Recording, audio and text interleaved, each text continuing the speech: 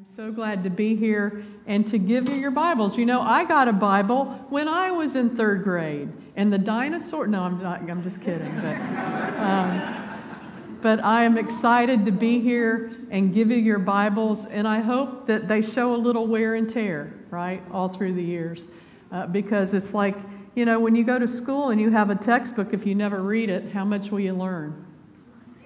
Not much. So, same with your Bible. If, it's, if it looks like this when you're 30 years old, it won't, it won't have helped you very much. So, I hope you will set time, and maybe your family can set time every day to read a chapter and to learn from these Bibles. And we're going to say some special words now over them, okay? Receive the Word of God, learn its stories, and study its words. Its stories belong to us all and these words speak to us all.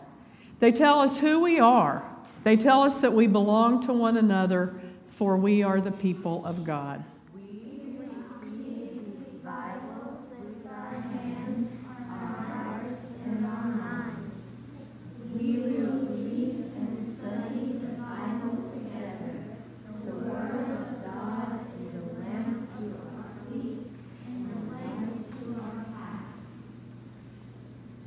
If you'll join me now, we rejoice in this step in your journey with God. We pray God will guide you, your family, and us as you use this Holy Bible in your home, in your church school classes, and in our worship. We will learn together and grow in our love for God's Word. Thanks be to God.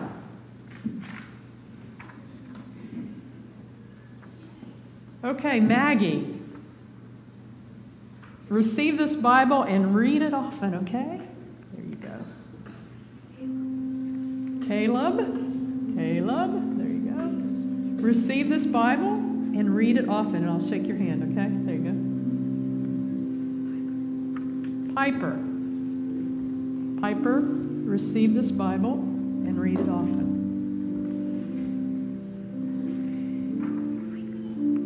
Micah. Micah, receive this Bible and read it often. Naya. Naya, receive this Bible and read it often. Aiden, receive this Bible and read it often. Laura, receive this Bible and read it often last but not least, Catherine, receive this Bible and read it often.